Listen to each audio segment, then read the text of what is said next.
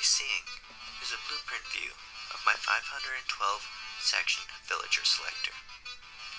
Right now, I'm just I just put the camera on super a super secret setting that nobody must know about in order to make it look like a blueprint.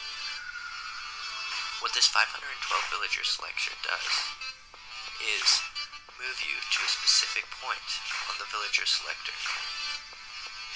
Will take you to a specific villager and you will be able to trade with it. This is possible for 512 villagers, as it is a 512 section villager selector. Currently, I am just randomly programming it. The way that this works is there's a memory cell unit. This memory cell unit is able to remember six different outputs and, and calculate a specific villager. Currently, you'll notice there are no villagers. However,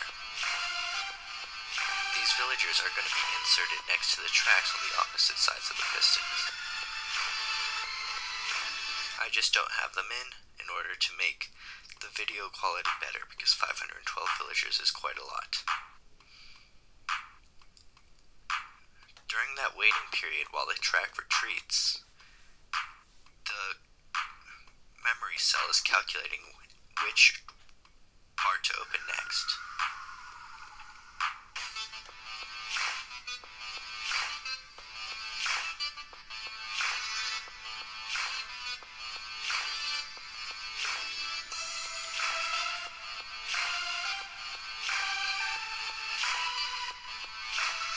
The tracks are laid out so that they're smartly arranged, and will always come back to a specific point where they will meet a logic gate and will take you specifically to your next location.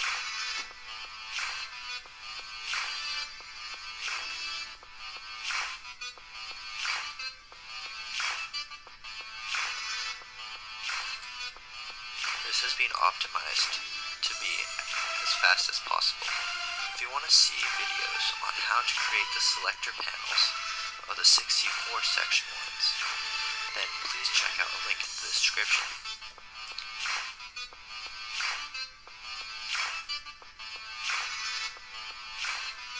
Although this looks like a bunch of mumbo jumbo, it consists of 8 of these things which are 64 section selector panels. Each one of these selector panels is broken down into 8 different sections, like so. When one of these different selectors is, sections is selected, selected by a comparator. For example, if the second one is selected, then we can see how it works. That piston at the bottom is pushed up, making the, the thing power.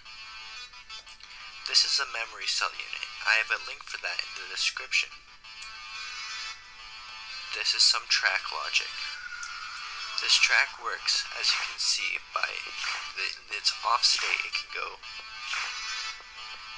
around to the anywhere. In this state, it will go, I, I don't really know, it's too confusing, but you should be able to tell from the images. This is where the villagers would be. Thank you for watching. I hope you enjoyed this brief video of this creation that I have if you liked, leave a like. If you want more of an explanation, I would be more than happy to give it to you. And always, subscribe. Thank you.